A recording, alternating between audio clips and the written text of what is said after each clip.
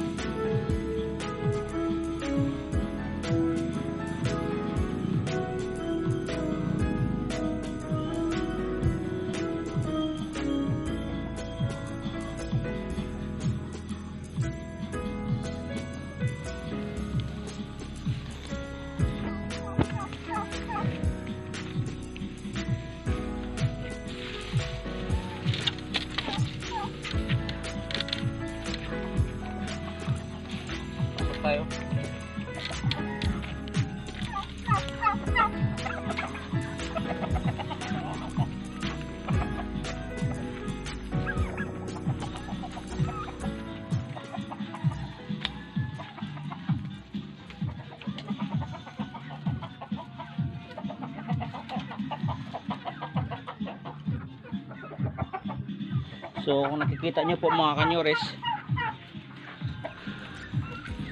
ito yung grass na pinapakain natin sa kanila.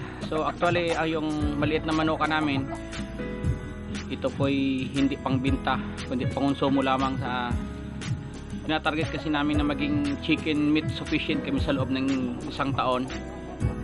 So nagtatarget kami na dalawang uh, mamit namin yung ah, ama halimbawa may konsumo kaming tatlong kilo sa loob ng isang linggo so bali dalawang manok po yan So, uh, kinikwenta namin sa loob ng isang taon, bali 96 na chicken yung makukonsume namin sa family of 4.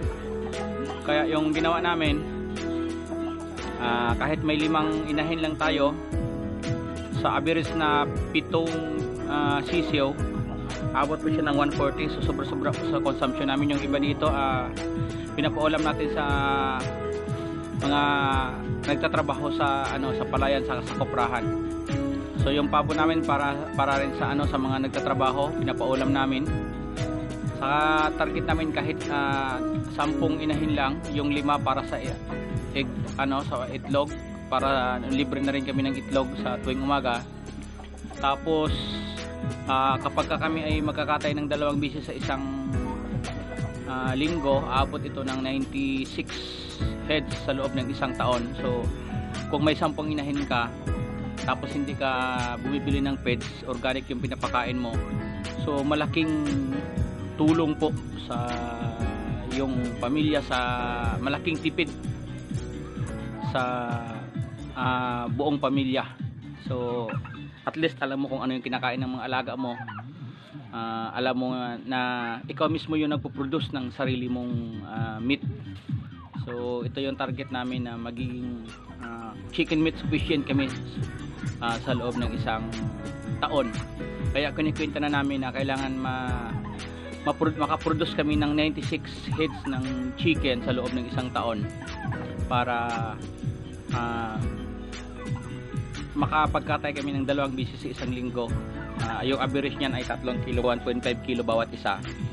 Kaya uh, ito parang ano lang katuwaan lang namin pero malaking na itutulong po ito sa lalo na sa pagsasaka malaking may tutulong po ito at tipid sa agastusin ng pamilya ng buong pamilya maraming salamat po sa panonood shoutout muna sa Shub TV sa Imor TV PH at saka yung isang nagpapa-shoutout na hindi ko kilala sa siguro sa sunod na lang na video kasi hindi ko ma-pronounce yung yung channel mo bro. Pero maraming salamat sa suporta nyo.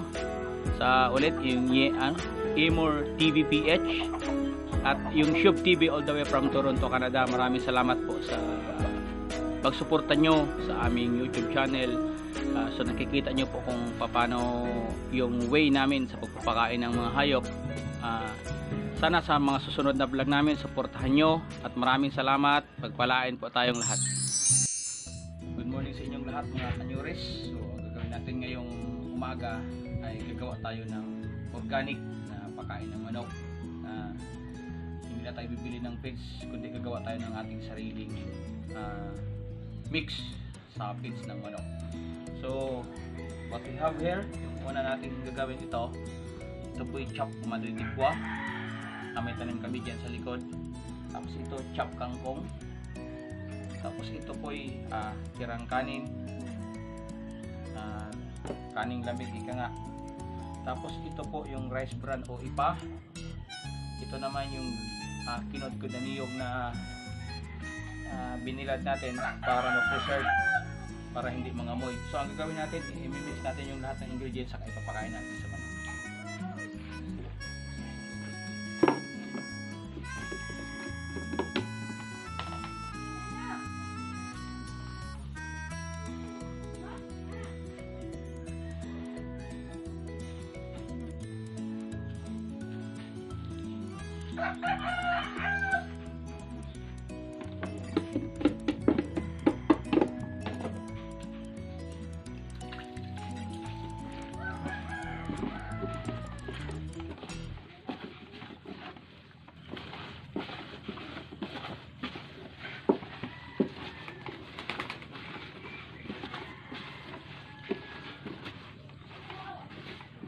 Kalapati oh. Bigyan mo. Hindi kaya nito, iba yung iba yung menu nyo. Ah, Tara, pakain tayo.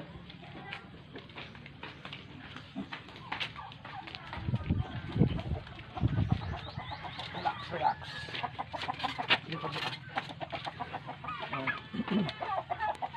Sira mo. Come on. So kung nakikita nyo, ito yung tanim naming madidigwa. Lapit naman, ito yung tanim namin na madidigwa. At dito kami kumukuha ng pakain, diyan kami kumuha na kumukuha ng kangkong. Sa ito yung munting manuka namin.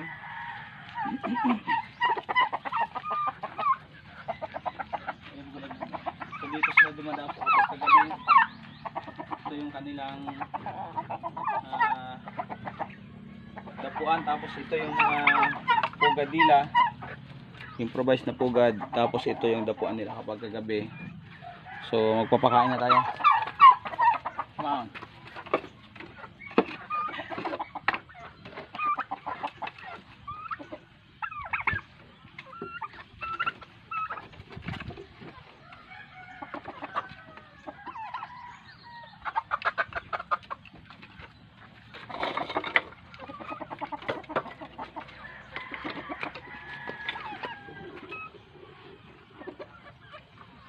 So mga kanyures, ah kung marunong tayong gumawa ng pakain ng manok, hindi na natin kailangan pang bumili.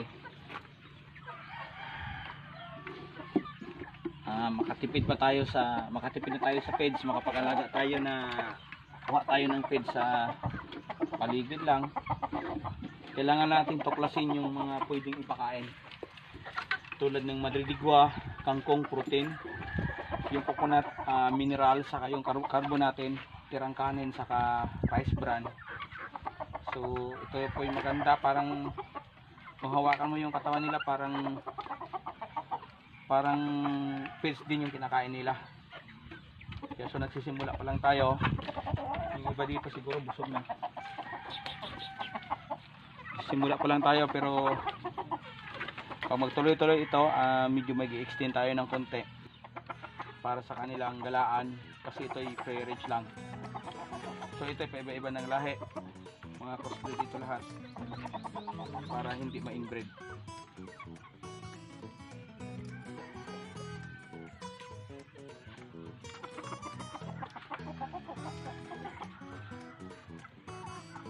so nagtanim tayo dito ng saging para sa lilim nila tuwing summer. Ito yung net natin.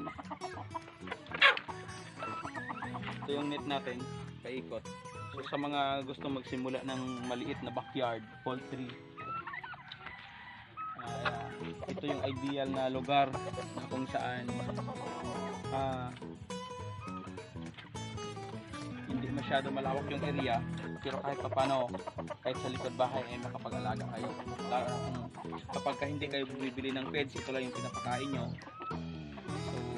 maganda na organic na masarap pa yung karne ng ating mga alaga.